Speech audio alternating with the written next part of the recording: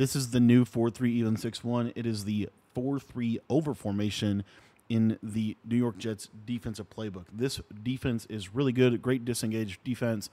Uh, basically, what I like to do is turn my auto alignment to base, auto flip defensive play call off, option defense on conservative. And if you enjoy the video, make sure that you join our Skool community. If you don't know about that yet, that is our ebook site. We have full offensive and defensive ebooks, including the best defenses and offenses in this game, completely broken down in there for you guys so that you can get better. If you guys want to check that out, that link is in the description. Cool part about being a member over there is it gets you access to all of our Madden and College Football 25 offensive and defensive ebooks, as well as all of the updates to those that we release throughout the season. So we're just coming out in Tampa 2 here. Uh, main thing I want to show you is this disengage. So what you're going to do is you are going to basically uh, pinch your defensive line. You're going to slant your defensive line inside. And then if you want to spread your linebackers, you could kind of walk them down off the edges, uh, which I think is kind of not terrible.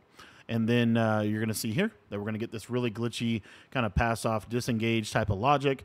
And a lot of times this four man pressure will actually come in through the A gap. So pinch the D line, slant your D line inside. So I'm going to stand a little bit over here to the left side.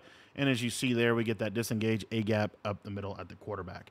Super simple little disengage here at a 4 3 over. There's a lot you can obviously do from the coverage. If you wanted to double Mabel, for example, you could put your linebackers on five yard purples. You have those 30 yard clouds out there. This is this is a really good disengage defense. It's very similar to 6 1. That's why I'm calling it kind of the new 6 1. Uh, if you just look at kind of how it plays, it's very, very similar. So I really like this defense. I think there's a lot of potential in this. And um, yeah, 4 3 over, little disengaged defense, super good. And you're going to get pressure sitting four.